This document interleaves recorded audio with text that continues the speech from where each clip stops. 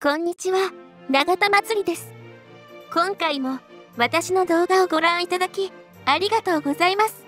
総裁選にも出馬した自民党の高市政調会長が韓国に対して正しい発言をしたのに、韓国がクレームを言ってきているようです。それでは、ニュースを見ていきましょう。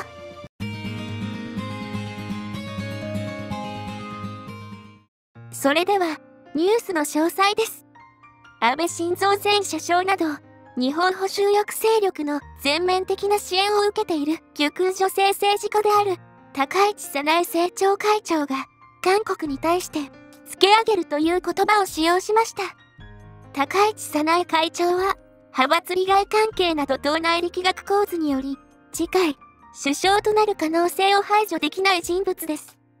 高市政調会長は自身が次期首相になっても太平洋戦争永久戦犯の位牌が安置されている。靖国神社への参拝を続けるという意思を明らかにしました。高市政調会長は東京都で開かれた靖国神社数形法参会という極右団体主催のシンポジウム公演で靖国参拝に対する韓国中国など周辺国の反発に関して私たちが靖国参拝を途中でやめるなど中途半端なことをするから相手がつけ上がると指摘しました。彼女は日本の首相の靖国参拝について主権国家を代表する者として先人に尊崇の念を持ち感謝の誠を捧げるのは当たり前だとし当たり前のことだと続けていけば周りも韓国など関連国アホらしくなって文句を言わないのではないかと楽観的に捉えていると述べました。講演の参拝を途中でやめたという部分は中曽根元首相安倍元首相などが靖国神社に直接参拝をしていたが国内外で反発が起きそれ以降は供え物だけを捧げるようになったという事実を指しています。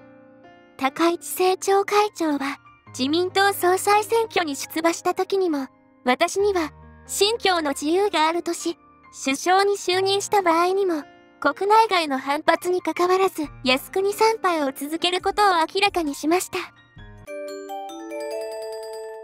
それではネットの反応です。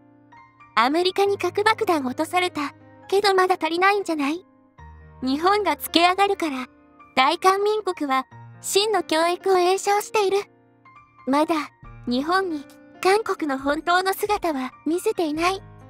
日本は翼もなく墜落している途中だ。韓国は翼を携え上昇している途中。最後までご視聴いただきありがとうございました。コメントいただけるととても嬉しいです。皆様の応援で頑張れます。チャンネル登録高評価お願いいたします。また次回の動画も見てくださいね。